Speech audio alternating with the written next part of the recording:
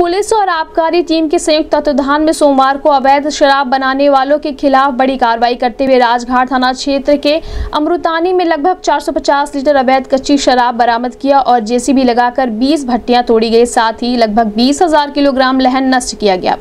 Police और आबकारी विभाग की इस बड़ी कार्रवाई से अवैध शराब कारोबारियों में हड़कंप मच गया। इस संबंध में सीओ कोतवाली वीपी सिंह ने बताया कि अवैध शराब कारोबारियों के खिलाफ लगातार कार्रवाई की जाती है।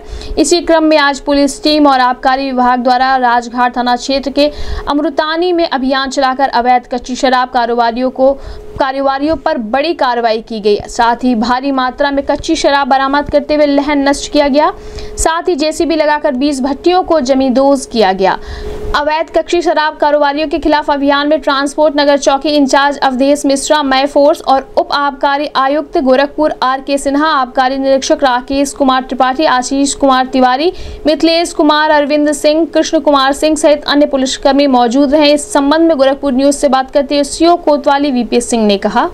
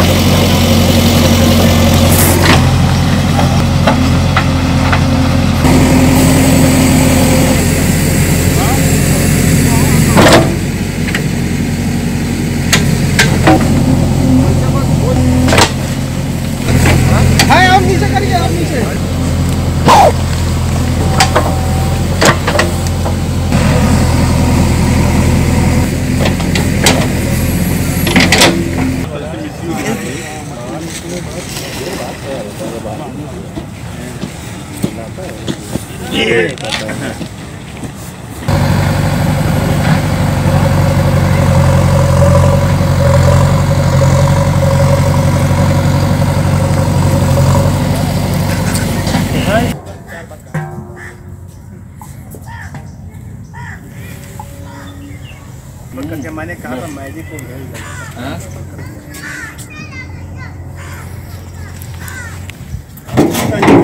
दो कल भी थाना अध्यक्ष राजघाट और पुलिस बल द्वारा हमतानी में कार्रवाई की गई थी।